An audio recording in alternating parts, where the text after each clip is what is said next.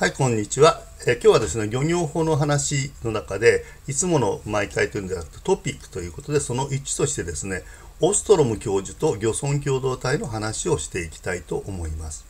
で、オストロム教授というのは2009年にノーベル賞を受賞した女性の方なんですけども、彼女がどんな研究をしたかというと、世界中のコモンズ、共有資源の管理状況を調査したということです。共有資源というのは、例えば海のあの、ものね、資源、魚なんかもそうです。川のものもそうですし、地下水とかですね。まあいろいろみんながそれぞれね、個別の人が持ってるんじゃなくて、みんなで持ってるような資源の管理状況というのを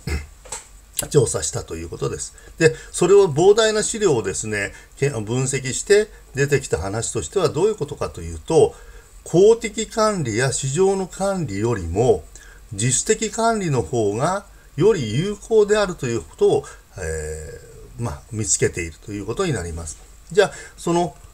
公的管理とか市場の管理、自主管理ですけども、公的管理については、いわゆる行政、お役所がその資源を管理するというものですね。例えば漁業で言えば、大臣許可漁業、知事許可漁業といった許可漁業、それから、えー、今度の漁業法で新しく適用される漁獲割当制度ですね。えー、そういったものが関係します。で、市場の管理という話になりますと、今度は、えー、この、あの、権利を売買することによって、えー、調整してより欲しい人が誰かから買うというようなことで調整していこうということでやるものですね。これ、ニュージーランドだと ITQ 制度、譲渡可能個別漁獲割当て制度なんかありますけども、それによって、え管理をしていく。で、えー、今回の新しい漁業法ではですね、えー、許可も漁獲割り当ても譲渡可能になっていますので、えー、新しい漁業法の基本はこの公的管理と市場の管理を混ぜたものになるということです。ただし、え沿岸部について、その漁業権、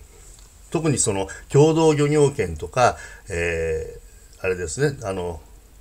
区画漁業権の一部ですね。それについては、え団体漁業権で言いますけども、その地元の共同体が自主管理をするという形に任せているわけで、それは残っています。ただし、個別漁業権と言われるものについては、企業参入が容易になるように、その地元の共同体の場所に、えー、企業がどんどん入ってくる形になってしまいましたので、ちょっとそこについては、あの、管理の一元化ができなくなるという意味で問題があるかと思います。でところで、共同体による自主管理がうまくいくため、8つの条件というのを、えー、オストロム教授は見つけ出しました。で、意見に示したのが、まず最初の4つです。境界が明らかであることという話です。じゃあ、漁業権についてどうなのかというと、漁業権については、もうしっかりと漁場の区域ということが、あの、明確に示されてます。ね。で、ですからこれが適用される。2番目、えー、利用と維持管理ルールが、え、地域的条件と調和している。じゃ漁業権については漁業権行使則というのが管理ルールになるわけですけども、これは古くからの入り合い観光をベースに考えているので、これは当然地域的条件と調和することになります。3番、集団の決定に構成員が参加できる。漁協に免許されている団体漁業権であれば、えー、組合員は総会ですね。総会のえー、に、あの、議決権を持ってますので、正組合員であればですね、それでいいわけですけども、えー、今度はですね、うん、漁村共同体の人たちはどうなのかというと、それは書面同意制度とか総会の部会によって、その、何、あの、集団の決定に参加できるようなシステムが取られています。で、えー、4番目、ルール遵守についての監視がなされているということで、えー、相互監視というのは、まあ、漁村の中では当然相互監視があって、まあ、あのその自分たちで決めたルールを守らないっていうのは考えられないというような状況がある。これは逆に言うとルールがきちっと守られると非常に素晴らしいことではないかなというふうに思っております。5番目、違反へのペナルティは段階をもってなされるということです。で業務権行使則によるペナルティというのは、固い金や除名になっています。で、最初はお金による固い金、で、あまりひどいと除名になるということで段階をもってなされることになっているので、これも適合しています。で、紛争解決のメカニズムが備わっていることということで、例えば漁業内部の,、えー、あの紛争であれば、その漁業の部会。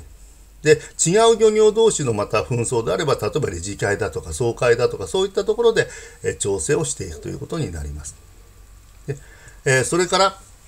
えー、7番目、組織する主体に権利が承認されているということですね。漁業権はいわゆる物件とみなして、えー、見なされるということになっていますのでしっかりと権利が承認されています。8番目、組織が入れ子状になっていることということ。これは2つの考え方があると思うんですが、1つの漁場に、えー、公的管理と自主管理が両方ともされてるよっていうようなことになるのかなという話であれば、漁協単位で管理する漁業権と都道府県単位で管理する許可漁業も同一解明存在する。これが入れ子状になっていることになります。逆に、その自主化組織の中が、親組織と子組織みたいな、こう、いろんな形になっているという話であれば、漁協の中に、漁協だけじゃなくその各漁業の部会が設置されている。これが入れ子状になっているというふうな解釈ができるんじゃないかと思います。ということでですね、えー、共同漁業権などの団体漁業権というのは、オストロム教授がね、えー共有資源の管理がうまくいく8つの条件というのを全て満たしているので、非常に有効なシステムではないかというふうに評価できると私は考えます。ということで、えー、今日はですね、えー、オストロム教授と、漁村共同体の話をしていきました。まあ、これからまた漁村共同体についてはいろいろ話していきますので、えー、興味のある方はチャンネル登録よろしくお願いします。また、高評価、いいねもよろしくお願いいたします。